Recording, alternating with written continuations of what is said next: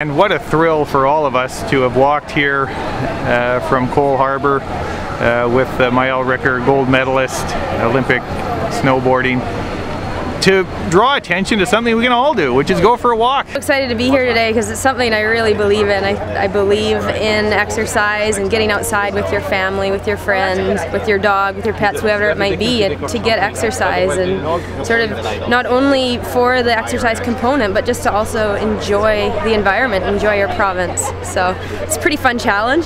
Sounds like a great way to win some prizes and yeah, it's good, good way to start August. Uh, tell us what you're doing, post a little uh, message, send us a little video, and you can qualify for, for prizes, and your community can qualify for upwards of uh, fifty or sixty thousand dollars in cash prizes to help uh, enhance the, the trails and walking network within a community. So it's all good.